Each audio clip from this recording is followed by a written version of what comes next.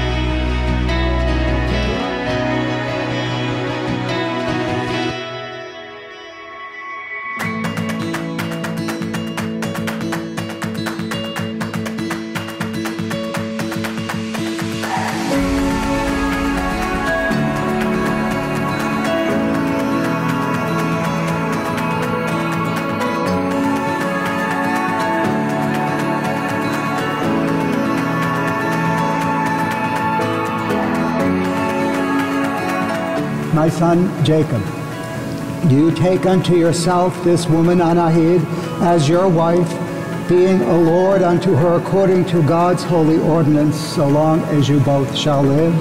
Yes, Reverend Father, I do by the will and grace of God. My daughter Anahid, do you take unto yourself this man Jacob as your husband, and do you promise always to be true and loyal to him so long as you both shall live? Yes, Reverend Father, I do by the will and grace of God.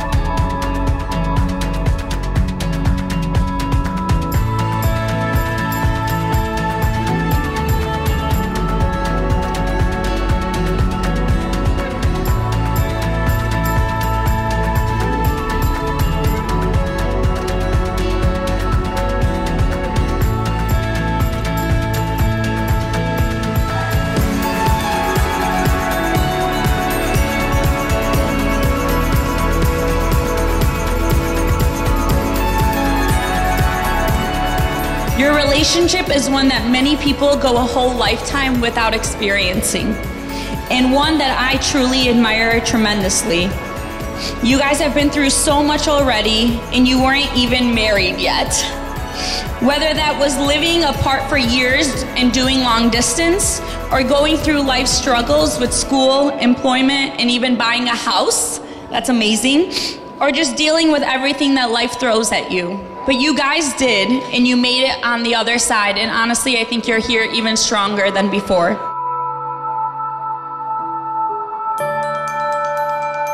It's my honor, the greatest honor I've ever been given, to propose a toast. Everyone raise your glasses. Here's to Jake and Anahit.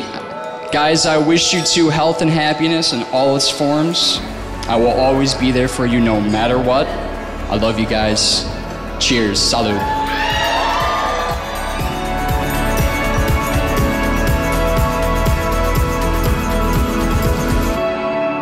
May your journey together be filled with love, laughter, and understanding.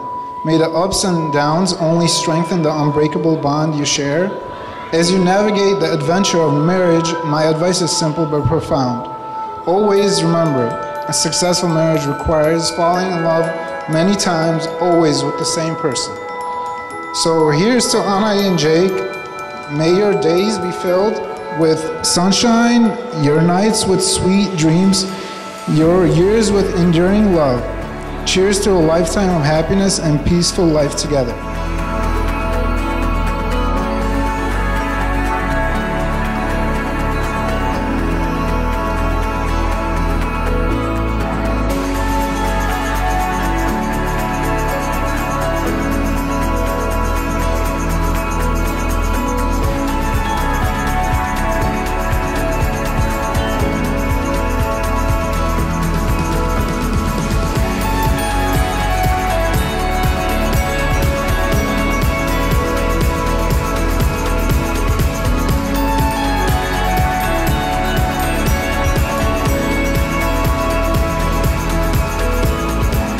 May you be blessed by the grace of the Holy Spirit.